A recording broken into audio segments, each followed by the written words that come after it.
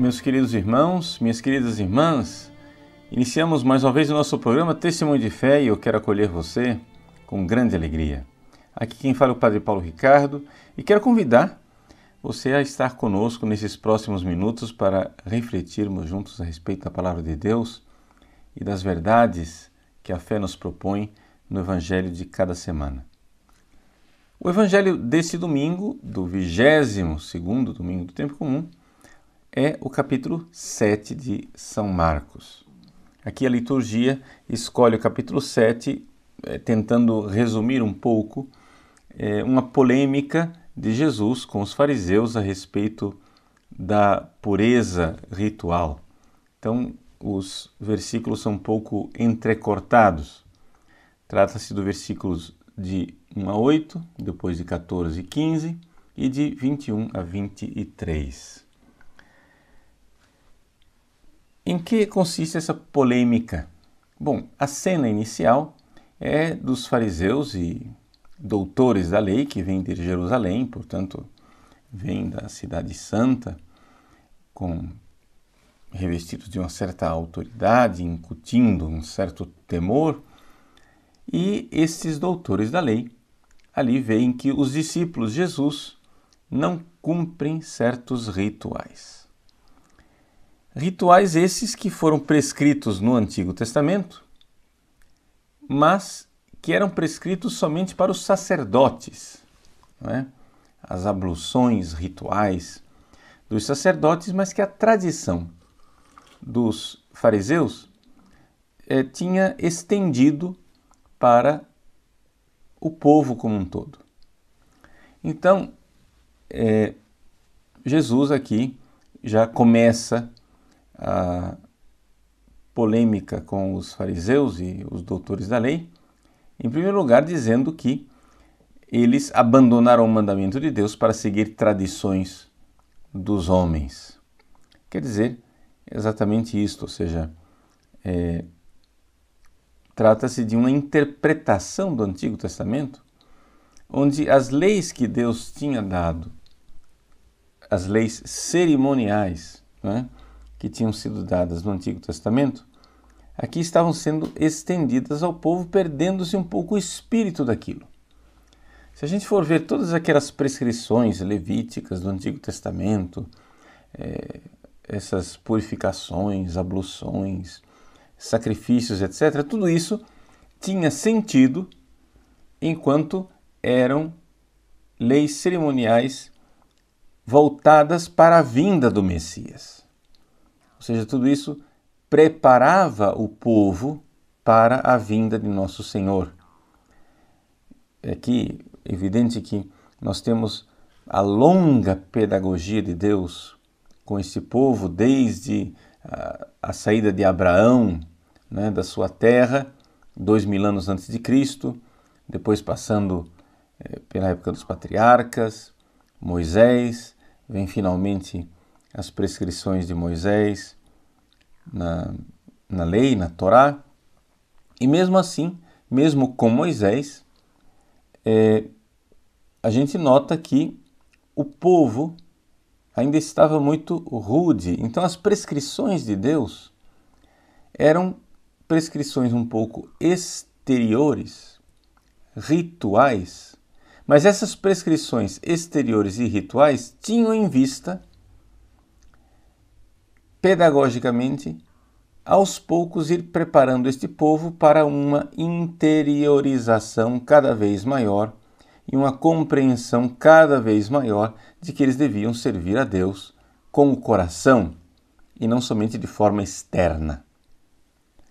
De tal forma que, quando chega a época dos profetas, os profetas se põem então a falar contra a vaziez ritualística de certas prescrições. É o que Jesus aqui recorda quando fala do profeta Isaías. Ele diz assim: Bem profetizou Isaías a vosso respeito, hipócritas, como está escrito. Este povo me honra com os lábios, mas o seu coração está longe de mim. Então, esse é o grande drama do Antigo Testamento. Ou seja, O Antigo Testamento ele é toda uma preparação para a vinda do Messias, onde Deus começou lá atrás com ritos exteriores e foi através desses ritos exteriores cada vez mais espiritualizando né, as exigências de tal forma que é, aqui as portas da vinda de Jesus Deus já esperava do povo um culto que viesse não somente de um formalismo exterior, mas que viesse, que brotasse do coração. Ou seja, a pureza ritual agora precisava ser uma pureza de coração. Jesus fala isso com muita clareza, citando aqui o profeta Isaías: O seu coração está longe de mim. Bom, o que é que nós é, podemos aprender desta polêmica? O próprio Jesus se volta para a multidão para concluir o que é que ele está querendo ensinar. E ele diz assim, no versículo 14 seguintes: Escutai todos e compreendei. O que torna o homem impuro não é o que entra nele vindo de fora, mas o que sai do seu interior. Vejam, a, palavra impuro que é usada aqui por Jesus não é, não é, é a palavra que nós esperaríamos. É, a palavra impuro, na verdade, se nós fôssemos traduzir aqui ao pé da letra, é a palavra comum, koinós, ou seja, o homem torna-se um homem comum, não é mais sagrado, não é? Não é mais separado, torna-se profano. Então, o que faz com que a pessoa é, esteja seja profanada, ou seja, ainda é, despreparada para prestar o culto a Deus, está no coração. É? E aqui Jesus faz todo esse esforço de interiorização da lei do Antigo Testamento, né? para que aquelas prescrições rituais que tinham um sentido pedagógico aqui finalmente encontrem é, a sua finalidade. Nós sabemos perfeitamente que as leis cerimoniais do Antigo Testamento foram abolidas com Cristo.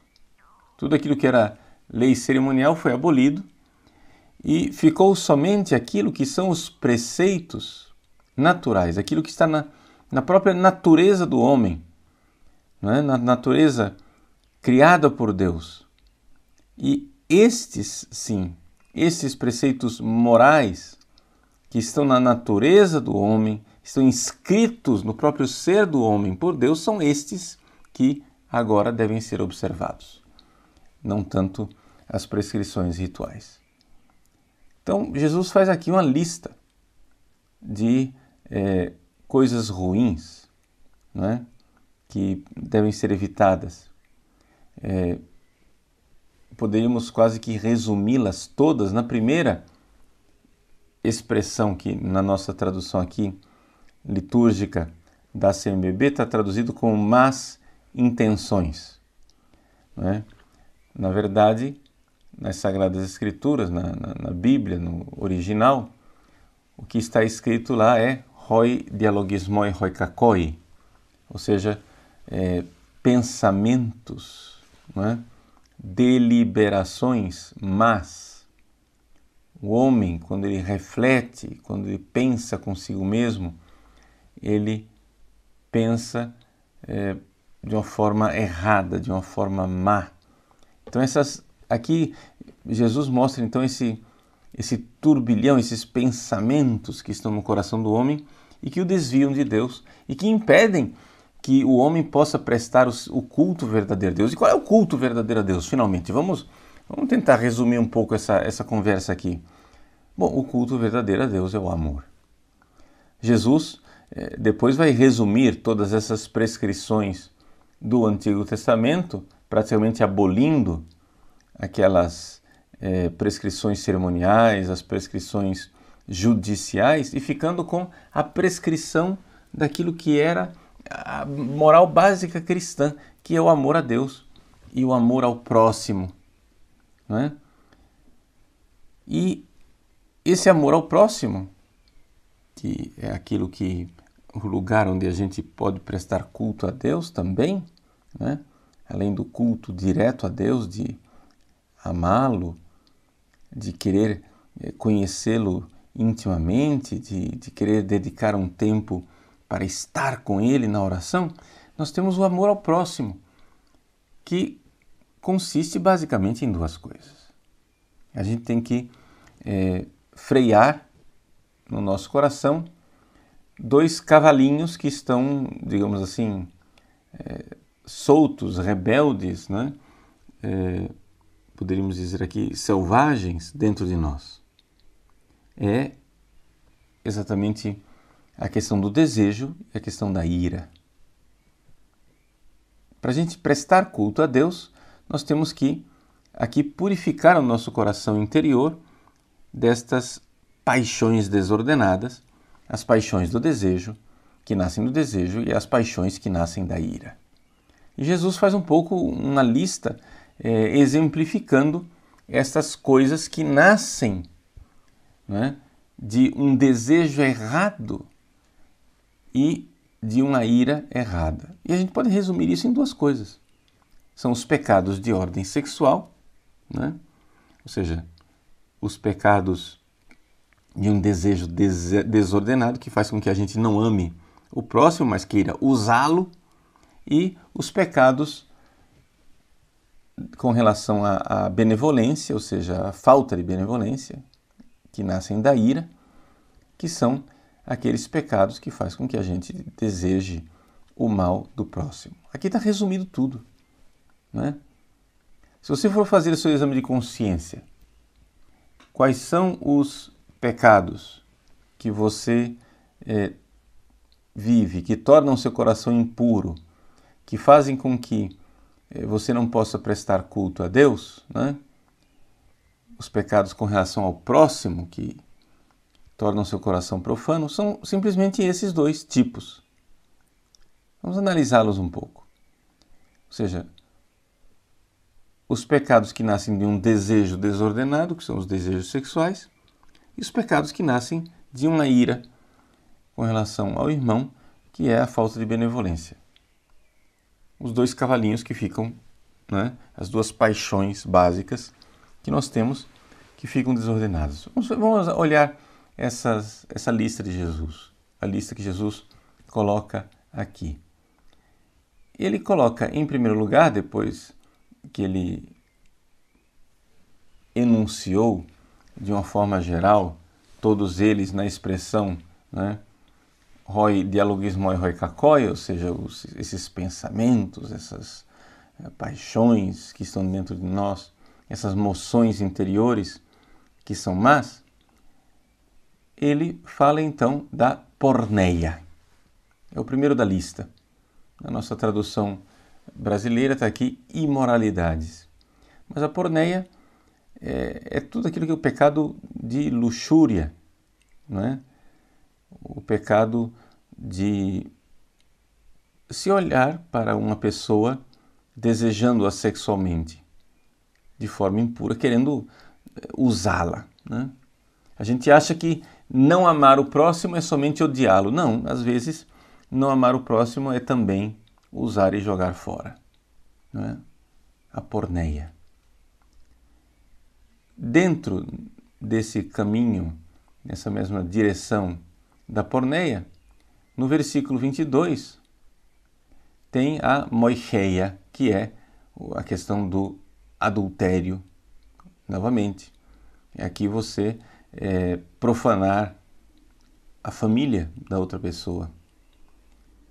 E estes desejos desordenados com relação ao próximo né, fazem com que a gente comece a desejar até mesmo os bens da pessoa, a gente é, começa a querer uma ambição, ter uma ambição desmedida, né? que é como se traduz aqui no nosso português, a pleonexia, você quer juntar coisas, você tem uma quer juntar dinheiro, quer ser essa ganância, essa ambição, essa hipnose que nós vivemos com dinheiro. Tudo isso é desejo. Tudo isso é, é desejo. O desejo, por exemplo, da, da inveja. Né? No original grego, a palavra inveja é colocada como oftalmos poneros, ou seja, é, mal olhado. Né? É a inveja, você, você quer as coisas do outro. Tudo isso são desordens do desejo. Você fica desejando. A gente pode dizer aqui que é aquela criança que se acha o centro do mundo e que diz: Seja feita a minha vontade, assim na terra como no céu. Né? Eu quero, eu quero, eu desejo. Agora, quando esta criança é contrariada e ela vê que ela não pode alcançar o que ela deseja, aí se desencadeia a ira. Não é? O que vai desembestar dentro de nós é a ira. E a ira ela se manifesta então em violência contra a outra pessoa, nos assassinatos, ou uma violência com relação aos bens da outra pessoa, nos roubos. E aí surgem as maldades, as fraudes, a calúnia, etc. Tudo isso que faz com que a gente se ponha contra o próximo e vá prejudicando o próximo. Né? É a lei do vale tudo, é a lei da selva, onde eu faço de tudo e não existe limites para que eu realize a minha vontade. O importante é eu não me contrariar. E, no entanto, se nós quisermos servir a Deus, o caminho é exatamente o contrário. Eu preciso aprender a me contrariar. Eu preciso aprender que esses dois cavalinhos chucros, esses dois é, cavalinhos que estão aí selvagens, precisam ser bem conduzidos. São duas energias maravilhosas que Deus nos dá: energia do desejo e energia da ira, mas que devem ser usados de forma adequada para que eu possa prestar o culto a Deus. Aqui uma coisa muito bonita. É, nós enxergarmos que não somos anjos e que, portanto, o culto que nós, seres humanos, é, prestamos a Deus aqui nesse mundo, não é? ele é, pelo menos inicialmente, na, na, na briga inicial, ou seja, no nosso esforço inicial, é bem diferente do culto dos anjos. Porque os anjos não têm essas paixões para é, ordenar, para colocar em ordem. Nós temos. Os anjos eles não têm essas paixões carnais do desejo sexual desordenado e a paixão carnal de uma ira é, carnal, né, animal, que nós temos que conter. Então faça o seu exame de consciência. É, vamos já começar a aplicar isso na nossa vida e entender. Você vai à missa todo domingo. Você reza certamente durante a semana. Você tem muitas coisas né, é, para pedir a Deus.